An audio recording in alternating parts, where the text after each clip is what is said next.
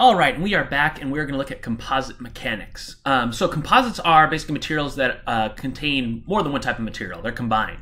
So typically, there's going to be a matrix component. That's the majority component, um, at least major in terms of volume fraction. Uh, and there's going to be a fiber component that's typically stiffer or tougher than the matrix material, um, and those will be basically lower volume fraction. So um, they can be in particle form, fibers, precipitates. One of the most famous is HIPS, high impact polystyrene, which has a matrix that is composed of rubber or polybutadiene, uh, and then basically hard precipitate particles that are made of polystyrene, hence polystyrene. So that allows you, that composite allows you to increase the toughness of a material because you have the more compliant or the more ductile rubber versus the basically more brittle and stiffer polystyrene. So our fiber, our particles, our precipitates, that in this instance is going to be the polystyrene, lower volume fraction, higher stiffness or toughness, et cetera, et cetera.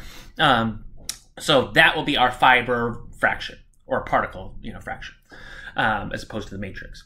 The matrix fraction will be, again, more compliant and have a higher volume fraction. So again, that is the volume fraction of the matrix, F sub m. Um, that's how we're going to kind of denote it. Varies from 0 to 1. Fraction of our precipitate or fiber or um, essentially whatever you're trying to call it. And that's going to correlate to an elastic modulus of the fiber or the precipitate. And then there's going to be a modulus associated with the matrix as well. So again, typically for any composite, the fraction of the precipitate their fiber is going to be less than the fraction volume fraction of the matrix. Stiffness of their precipitate is going to be greater than that of the matrix. Um, so you can have a the composite is going to be basically an average or sum of both of those. Um, but for a fiber uh, reinforced composite, it will depend on the direction. So if I'm pulling basically on the you know uh, basically in the same end of the fibers, um, I am going to have the same stresses, but the strains will be different. Um, so actually, if I pull, excuse me, longitude, if I pull transverse to that uh, that direction, so my stresses will be the same, but my strains will be different. And you see, my Young's modulus there is going to be lower. Makes sense. If I pull transverse, it'll be lower than if I pull parallel along the longitudinal axis. Now the stresses are going to be different. They're going to sum. The strains are going to be equal. If the fiber reinforced composite, you can kind of think of it like a, you know, those are in parallel effectively. So we can actually calculate what is the fraction and actually the modulus there too. And you can plot both of them.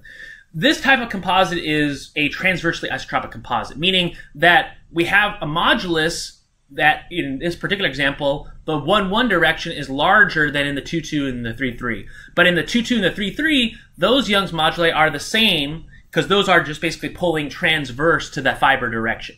So we can make that equivalent. So again, transversely isotropic material.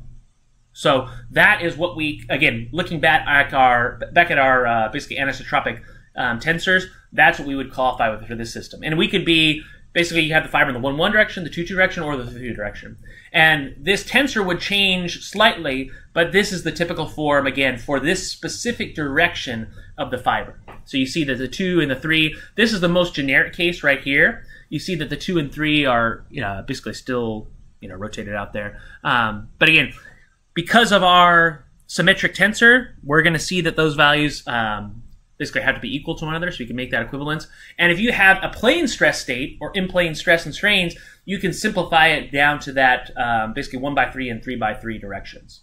So that's kind of the critical thing here is we can replace in that uh, in that tensor, and we could do the same type of operations that we've done previously. So we can find the new stresses by just taking our transformation matrix, dotting it with our stress tensor. Same thing with the new strains. You could use the Reuter's matrix if you're trying to keep and utilize engineering shear strain, or you could just convert, um, which I would definitely always try to do. Always keep it in tensorial because then you could skip essentially that Reuter's matrix uh, step and basically stop yourself from having to do a lot of uh, Mathematica calculations unnecessarily. Uh, but again, it's your choice. Or you can kind of do that whole um, kind of big mess that you see here. So you can kind of take that E prime and then do all the requisite transformations that are required. Um, so you could just do the t dot s dot t inverse, and that would be the end of the story times that basically that old stress value. So you could go that way. Um, actually, the new new stress prime there and calculate that out. So this is your composite mechanics in a nutshell. So um, lots of problems that are going to come. See you next video.